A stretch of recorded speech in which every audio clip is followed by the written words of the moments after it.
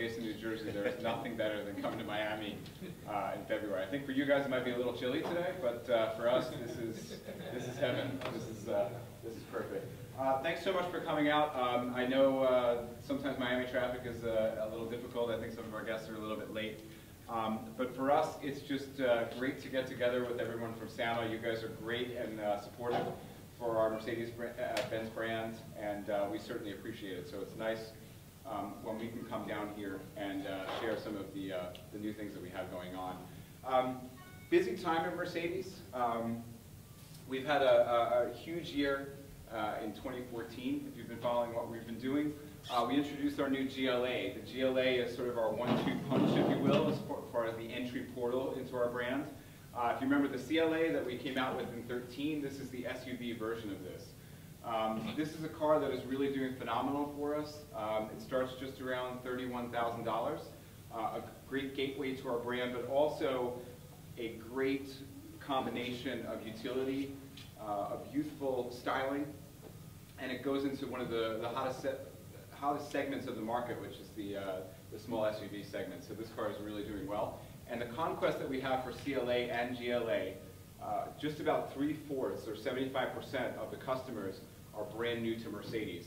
So if you look at that price point, you also have Hondas, you have uh, domestics, you have all these other um, high-spec options that are in that price point, but what we can give them is a Mercedes-Benz experience. So the same uh, kind of treatment that you would have if you're an S-Class customer, you can get this if you're new to the brand.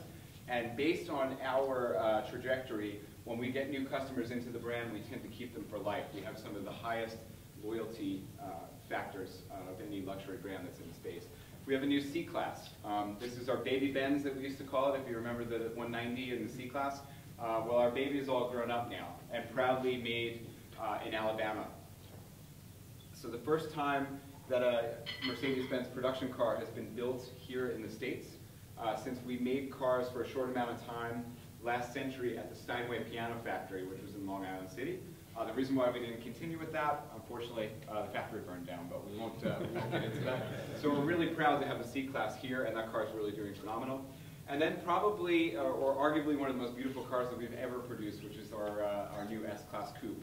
That car went on sale late last year, absolutely doing phenomenal. Um, I may hint that there may be a drop-top version of that car coming. Uh, I think it's a perfect Miami car, um, but, but something that's really doing well. And I think absolutely it puts an exclamation point on our styling direction. So you see the sort of a, a new face for Mercedes, uh, and this is the new way forward. Uh, our sales, just I won't go into too much of that. Uh, we're up about 6% year over year. Uh, luxury is continuing to outpace the, uh, the general market, and we're just seeing this trend continue as the economy improves.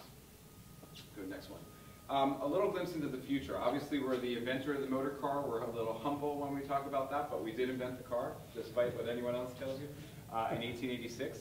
And if you think about it, the car is one of the, the true inventions that changed society and mankind as soon as it was introduced, right? It brought cities together.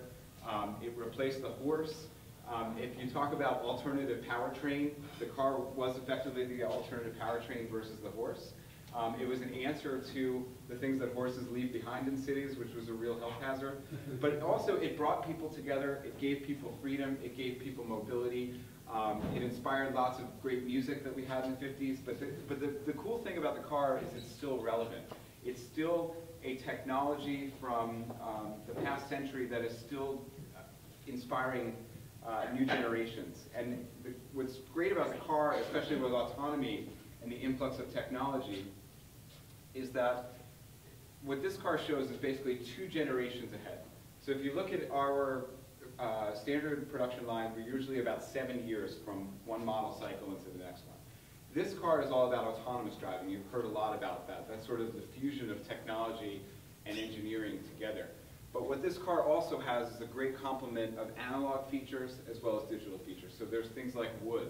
Um, the interior of this car, you see the rear-facing seats. You can face each other. The reason for that, um, there are times, and we know this in Miami traffic, we all like driving down South Beach with the top down and sort of music blaring, getting a little bit of attention. But there are also times when you're on 95 or, or you're coming down to Miami Beach when the drive isn't that great, right? And it's not that exciting. There would probably be other things that you could use your time more uh, effectively. What this car does is, if you see the steering wheel, this kind of folds away, uh, and the car will autonomously drive, so you can kind of turn around and let the, uh, the car do the driving for you.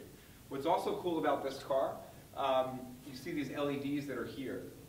Now, what's, what's great about autonomy is you've seen these cars that can drive themselves uh, from one section to another. But what this car really shows is the interface between the vehicle and people. So how do people know if the car is driving autonomously? How do they know if the car actually sees them? This car is designed with the acceptance of autonomy both from a legal standpoint, from an infrastructure standpoint, wraps that all up together and is just a vision of what cars will be in the future. But I, I will say that uh, we don't take an approach that it's going to be like a train-like experience. We will still have a steering wheel in all our cars. So I know for, for those of us that do like to drive, you could just fold the steering wheel up, but for the times that you don't like it, you can let the car do it uh, in as safe manner as possible. So real inspiration, uh, and it's safe to say autonomy is sort of like the space race of the auto industry, right? Every manufacturer is trying to, uh, to get there first to show you. About 80% of what you see in this car you actually have today uh, on the S-Class and throughout the model lines. Uh, what we need to wait is for the infrastructure as far as government regulations, uh, traffic lights, and what roads can um, benefit to, to make full use of this technology. So real exciting stuff. Next one. Now, when it comes to today, um, obviously we're a luxury brand, uh, and our customers, we have a, a, big set of customers that want something more.